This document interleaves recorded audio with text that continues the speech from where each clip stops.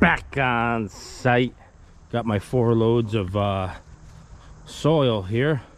A Couple good things that we got all that rain was we uh, it let it go down into if there was any settling. And before I pulled the dozer off this morning I tracked everything back in. But nothing was eroded nothing was there was no issues with that. And we had some serious rain. Um, the other good thing is the pond is full. Like I said we had some good rain but the pond is full up to the point where the overflow on the culvert is. You could raise it to raise it up more if you wanted to. But everything is the way it should be. Got the soil four loads here and we will be installing this tomorrow. It's four o'clock now. So i took the equipment out of here today besides what i needed and catch you in the am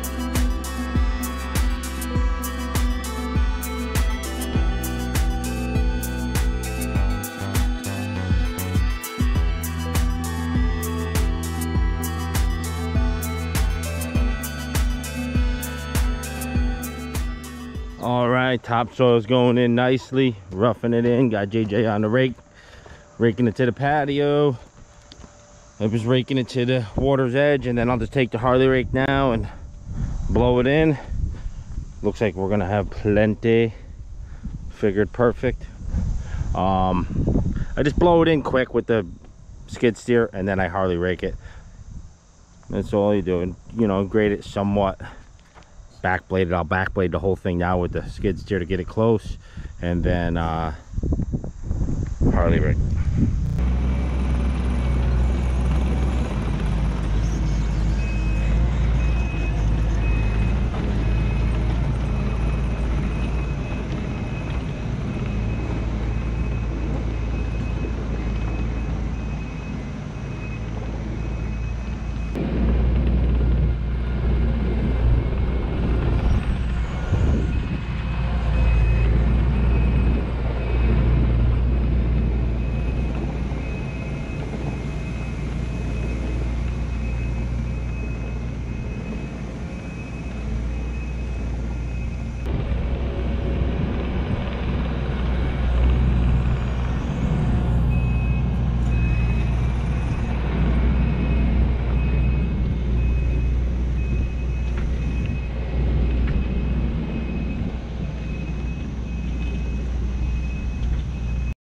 all right blade it all off and gonna get the harley rake on now. Get this thing tuned up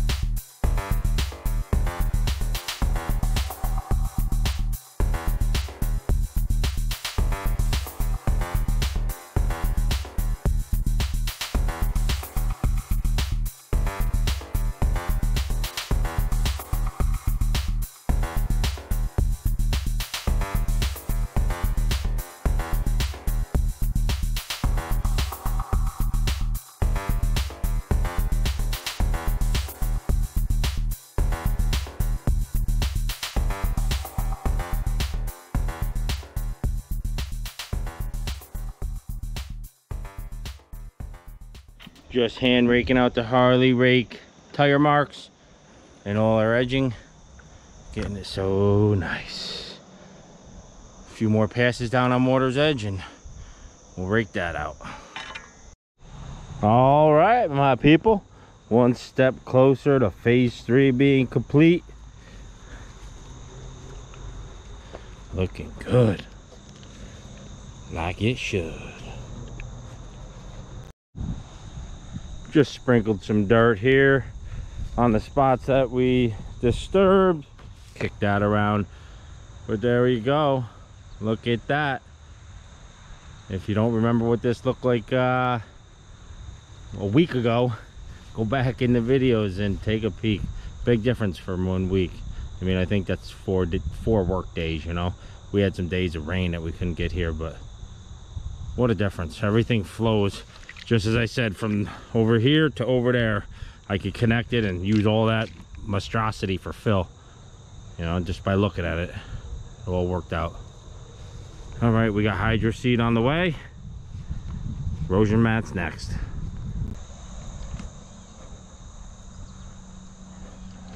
Looking good.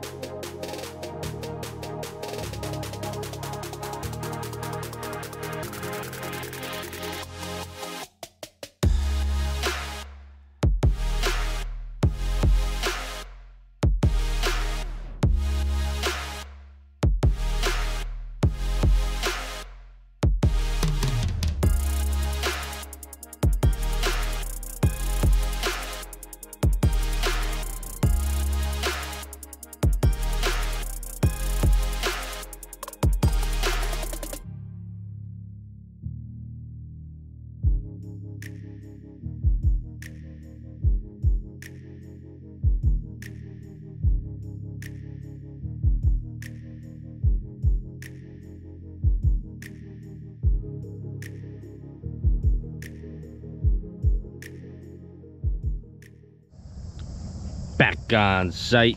It rained a day and a night. Had some nice drizzly rain. Nothing huge, thank God. Uh, three o'clock was when they had the hydro seeding, so I was gonna let it go to the next day. That afternoon, I was gonna install the mats, but it rained the whole day, so couldn't get them in. Gotta let the hydro seed dry because it gets mucky. Um, but now we got rain, so it all went down in, which is good for the germination. And uh, erosion mats are here and they'll be placed today. But it looks like there's no erosion up on top. This is a gutter right here that comes out that's going to have to be addressed when they put the pool in. That's why it's a little more saturated right there. Let's take a walk around. Nice. No erosion marks. Beautiful. It looks good. I mean, like I said, we had a day and a half of rain uh, but it was like a slow drizzly rain. Just made it absorb and not run. Erosion mats will be put on this afternoon after this sun bakes this for a little bit. I did this walk when he was hydro seeding and uh, with the GoPro 8 but it had failed. So that's why I don't have it anymore. Got another seven so I got two sevens. The eight had a lot of flaws versus this seven. But that looks really good. All the blue from the hydro seeding's gone from the rain. I think that's just a dye in it that they uh, they put so they could see. I'm not sure.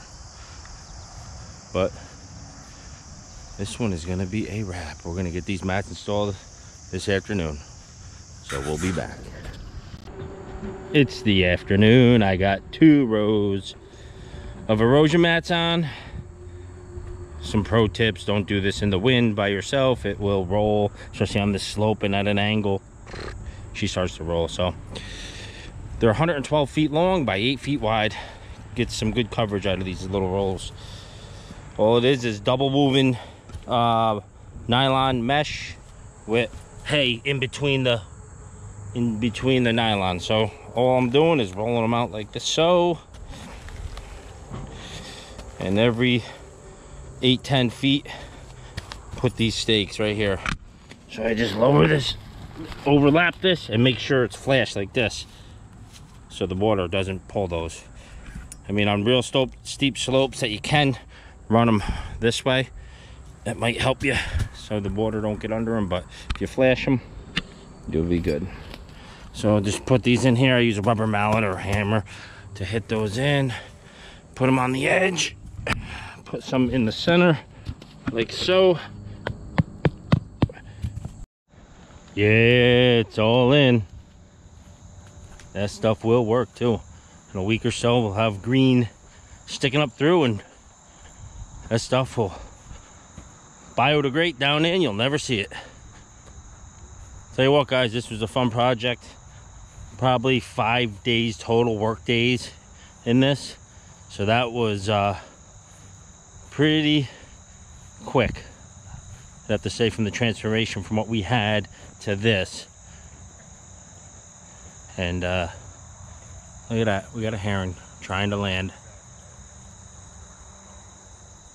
He's been fishing here all week. And then there's another one that's a albino I've never seen ever. With pure white. I tried to get him on film but he was too smooth. He's in this pond also. But yeah this is a wrap guys this is phase three all wrapped up this was a three-part project if you didn't get it from the beginning go back in the videos I'll put a couple links in from the start of this and like I said this was a five-day project and it uh come out excellent all right my people Thank you, everyone. Closing in on 10,000 subs. Let's get it quick. Thank you, and I appreciate. Catch you on the flip side.